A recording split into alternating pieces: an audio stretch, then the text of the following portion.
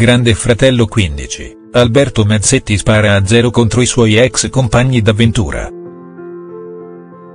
Il Tarzan di Viterbo ha rilasciato una nuova intervista, dove ha attaccato gli inquilini del Grande Fratello. Eccoci con un nuovo appuntamento con le notizie sulla quindicesima edizione del Grande Fratello, il reality condotto da Barbara D'Urso su Canale 5.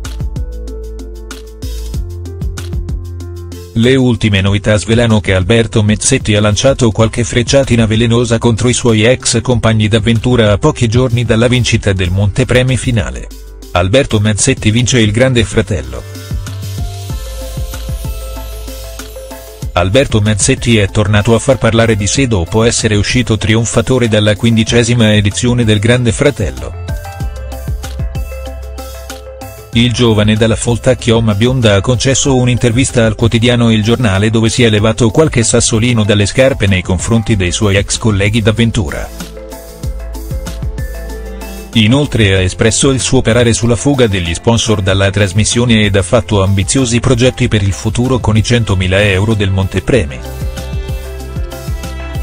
Ricordiamo che l'affascinante ex Stefano ha vinto contro Alessia Prete, la modella torinese che ha intrapreso una relazione con Matteo Gentili, il terzo classificato del reality di Canale 5. Infine ha smentito che sia stata consumata cocaina all'interno della casa del grande fratello dopo la denuncia fatta di Striscia la Notizia. GF, Alberto contro i suoi ex compagni d'avventura. Il Tarzan di Viterbo ha rilasciato un'intervista a Il Giornale, dove ha parlato della sua esperienza all'interno della casa più spiata d'Italia. L'ex modello ha precisato di aver partecipato al reality di Canale 5 per ripianare in parte i debiti, tanto da aver fatto da garante ad alcuni affari finiti male nel 2013.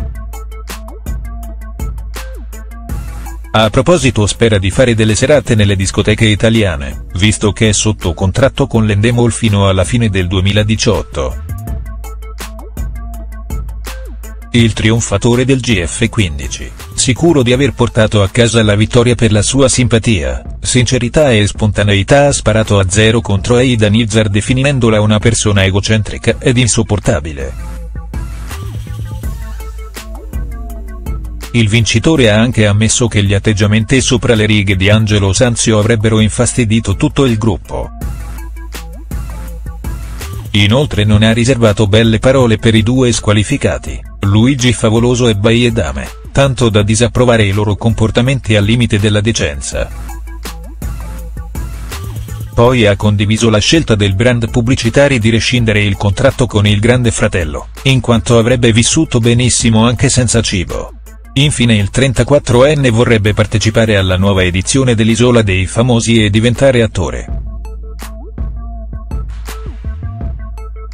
Ecco.